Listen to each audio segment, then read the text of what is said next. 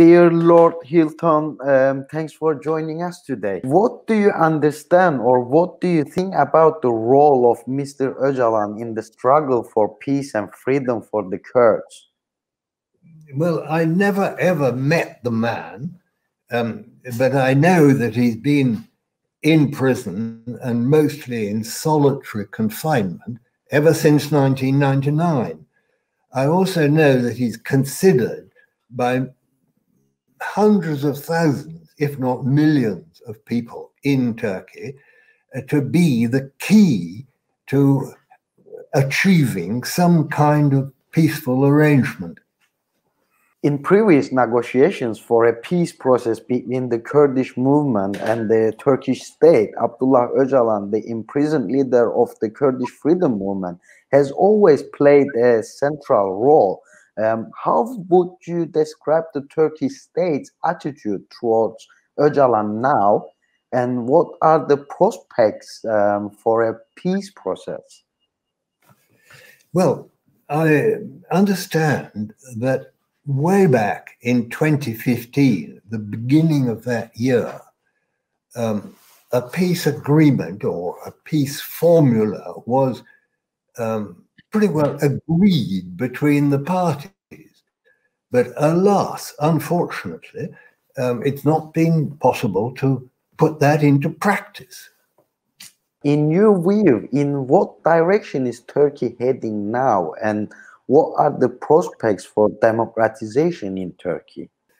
Well, I'm sorry to say that, in my view, Turkey is behaving in an extremely aggressive fashion and claims over the Aegean Sea.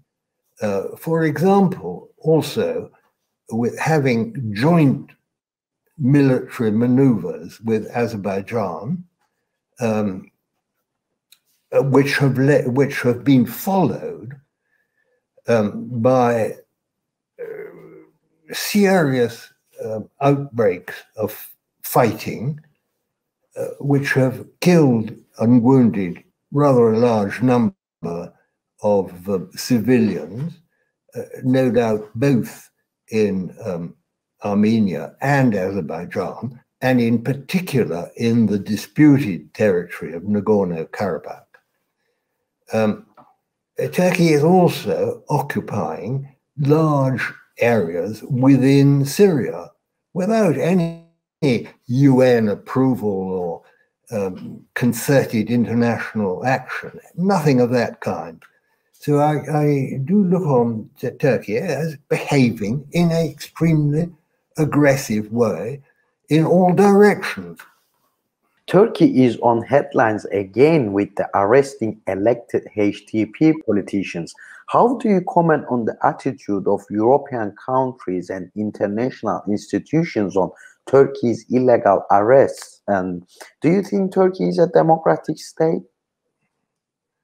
Well, Turkey is a member and has been for a long time of the Council of Europe of the Organization for Security and Cooperation in Europe, um, and also of NATO as an alliance between, uh, in theory at least, freedom loving democratic countries.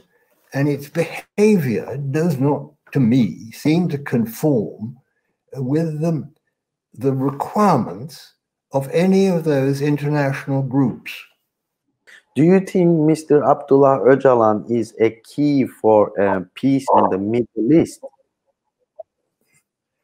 Well, I, my impression is that over a long period of years, his Mr. Öcalan's thinking and writing have developed and changed and not too many people in the outside world uh, understand and realize that fact. Um, they should study the evidence, particularly the evidence of his writings. Um, he suffered from being stuck with the label of a terrorist, whereas, in fact, his thinking has evolved and developed. Dear um, Lord Hylton, it's an honor to interview you. Um, thank you for joining us today. Thanks for your comments. Well, if I've been at all helpful, I'm very, very pleased. Thank you. Goodbye.